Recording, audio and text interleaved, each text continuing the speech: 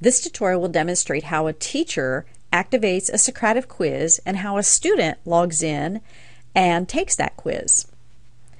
I have two different windows open and I am at Socrative.com on both of them.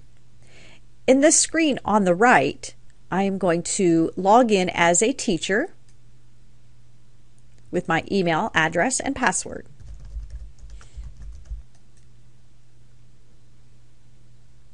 I'll notice that my room number is 052486. I need to give that room number to my students so that they can join my classroom. So as a student, on the left-hand side, I'm going to click Student Login. And I'll enter the teacher's number, 052486, and I will click Join Room. Now the teacher hasn't activated any quizzes yet, so the students will just see a little spinning wheel. So as the teacher, I'm going to scroll down and click Start Quiz, and it says Run a pre-made quiz. I have one student in the room, so I am seeing the student over here on the left. I'm going to select a saved quiz. I'll select Practice Quiz Number 1.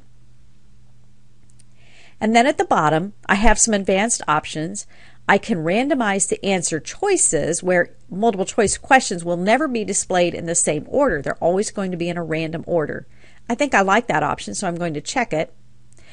I can, if I want, disable the right and wrong feedback, and I can hide the question explanations. Then I either select student paced quiz, where students can answer questions at their own pace, or teacher paced quiz, where as the teacher you decide when the students see each new question. I'm going to let the students take this quiz at their own pace, so I'll select student paced quiz. And now as the student on the left hand side, I can see the questions. The first one is your name. My name will be Joe Smith. My first question, what is the name of the Marion local mascot? I think it's Freddie.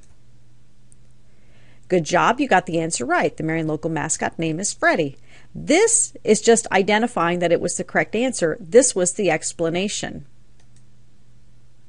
What state does the image depict? And the student sees the image and must type it in the screen. I'll say, I think that's Texas, and I'll click Submit. Wrong answer. The correct answer was Ohio. The image is the state of Ohio. And I click Done. I can either click Finish Quick Quiz, or if there's another student in the classroom who doesn't have a device, I can let them use my device, at which case I'll click Let Another Student Take the Quiz, and the process starts all over, where the student enters their name and the teacher will get feedback for another student. And that is how a teacher can give a quiz on Socrative.